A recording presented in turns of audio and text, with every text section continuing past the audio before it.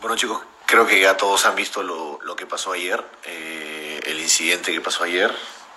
No es un incidente normal, es un acto delincuencial. Eh, creo, me imagino que deben haber unido y atado eh, todo lo que han podido ver, las noticias, los videos y todo, y más o menos saben lo que ha pasado, pero les voy a contar en detalle para que sepan literal lo que pasó. Eran las 10 y 40 de la noche, o sea, fuera del toque queda, ya todos están encerrados, a las 10 de la noche todo el mundo sabe que debe estar en sus casas, eran las 10 y 40 de la noche, eh, esa es la primera eh, infracción que estaban cometiendo. 10 y 40 de la noche se, se fueron en el carro de, de Rey, que al parecer no es su carro porque no está su nombre, sabe Dios de quién será. Eh, se metieron embalados al estacionamiento de la casa de mis papás, se bajaron del carro y con una botella de trago empezaron a romper la luna. Luego se han metido al auto y en la locura, en la desesperación, han retrocedido como han podido, han chocado, inclusive han chocado a dos camionetas más o dos carros más del propio estacionamiento y el serenajo que estaba ahí, que vio todo, eh, casi lo atropellan a la hora de querer fugarse.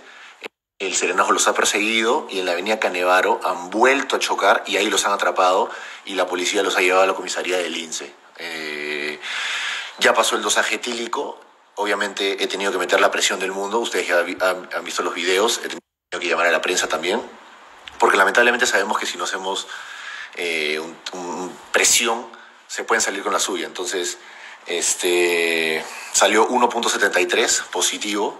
Este, la otra, o sea, Andrea eh, Miranda, cabe recalcar, no salió del baño nunca de la comisaría, dice que se sentía mal, no sé si pasó ella el examen de, de alcoholismo, no lo sé. Este, y la, bueno, la Serenazgo que vio todo y que los persiguió también está testiguando, este, aparte de la denuncia que ya hicimos nosotros por nuestra cuenta por, por el acto este delincuencial. O sea, a ver, la primera infracción es 10 y 40 de la noche, fuera el toque de queda.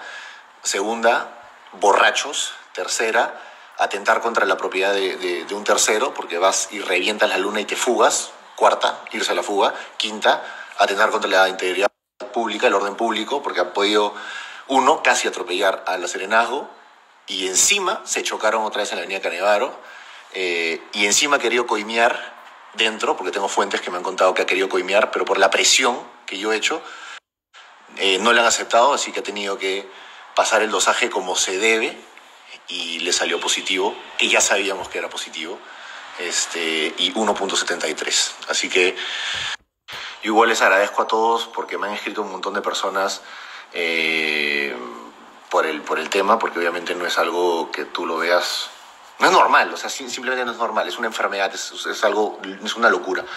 Y agradezco a todas las personas que me han escrito, de verdad, muchas gracias. Eh, obviamente mi, mi, mis papás están asustados, yo también estoy asustado. Eh, voy a pedir garantías, obviamente, eh, contra los dos, para mis papás, para mi hermano, para mí, para mi hija sobre todo, porque ahora todo el mundo sabe que yo paro con mi hija.